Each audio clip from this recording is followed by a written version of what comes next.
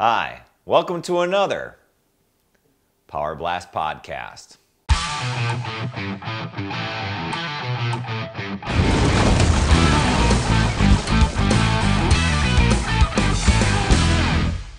We're going to put together pizza crust, and um, it comes from a couple of different reasons why we're doing it tonight. Um, for my birthday, I wanted to go out for uh, the, to like this brick oven pizza place, uh, Italian pizza place. It was high reviews in Boise, and I ordered a gluten-free crust. Never had a gluten-free crust before, and to tell you the truth, I'm not an expert on gluten-free anything other than I know it doesn't have wheat in it.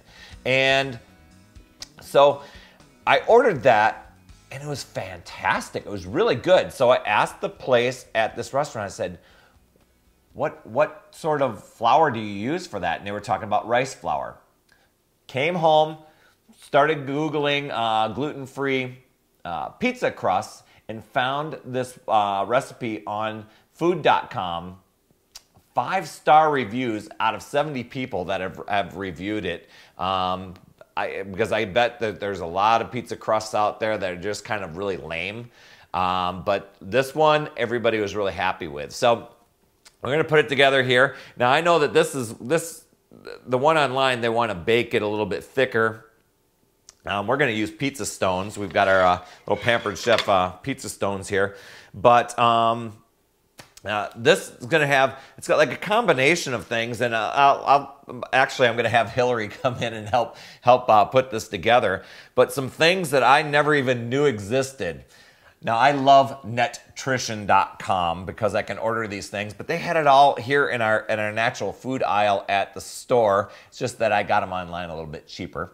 Um, there, there's brown rice flour, tapioca flour, garbanzo bean and fava flour, uh, xanthan gum. I mean, uh, something that starts with P90 with the X and P90X. I think is pretty cool. Um, then uh, I got some uh, some uh, fair trade Italian seasoning. Uh, a little shout out to Jim Musamelli out there. Uh, he's a big Bragg fan, and we've got some apple cider vinegar. Um, we've got it's got some uh, instead of using sugar, uh, some blue agave. uh, put in there yeast a few other things. We're going to make barbecue chicken pizza, but this podcast is just on the crust itself. On another podcast, I found this Bob's Red Mill gluten free pizza crust. We'll be able to compare it. But anyway, we're going to throw this together. Um, the reason for it now, uh, at the beginning of September, for just two weeks, I challenged a, a little uh, secret fitness group that I have on Facebook, and uh, a bunch of us are doing a, uh, a 14 day challenge of uh, being dairy free and wheat free and just to see what are the results. Does that matter? Will that you know will there be some results from it? How will i feel etc and to give some feedback that way. So uh, i want pizza tonight. It's friday night. Gotta have pizza right? Um, but i want it in a healthy way and i'm gonna see if we can duplicate what this restaurant did for me. So let's get to it. All right let's assemble this baby. What are we putting in? So we got brown rice flour tapioca flour, half cup. It's a long name for a thickener.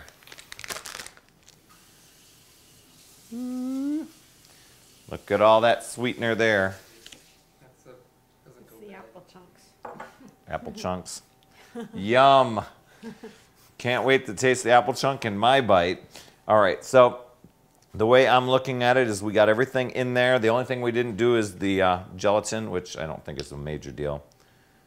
Could be a total flop without it. And now we need some sort of beaters.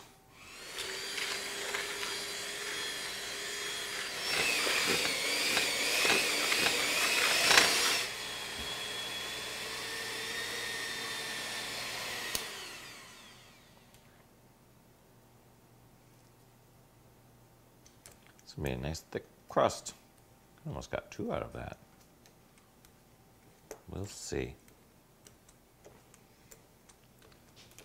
Food Network shot. All right, here's our uh, little pizza crust that we're gonna put in and bake for about, I think, 10 minutes before we put on our toppings. Is it good? Yeah. Okay, we're gonna take it out and decorate. Look at that. Ooh, Look at that, look at that, look at that. Some barbecue sauce that we're putting on there. And we're gonna put some barbecued chicken. This is actually chicken that came just off the barbecue. I'm gonna spread that out though. Okay, I'm just gonna add a little pop to this. We got chicken, red peppers, and we're gonna add some jalapenos in there.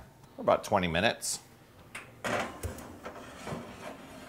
Here we are. We got the pizza done. Looks pretty decent. You get a zoom in here, uh, camera boy. You can come on up. Let's get a little over the camera shot, over the pizza shot. So let's see how it cuts up.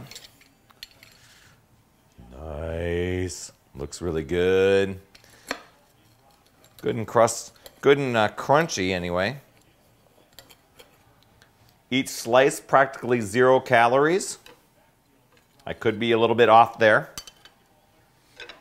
You'll have to check online and find out what the calories are, but all right. All right.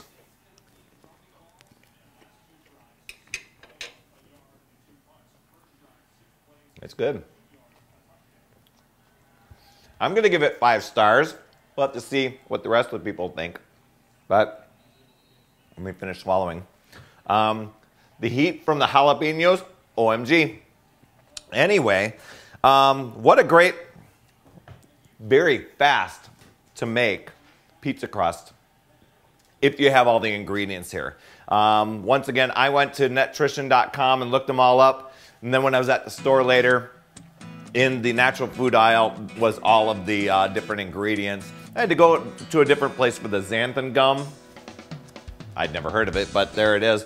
But no, I mean, uh, the, the pizza crust, um, nice and, and crispy. I probably could have left it in just a little bit longer. Very tasty. We got the gluten-free criteria there. I'm having chicken barbecue pizza. It's totally rocking. So, uh, you know, go out and give it a shot and uh, enjoy that recipe. That's all I have for this week. Remember, it's never too late. We'll see you next week.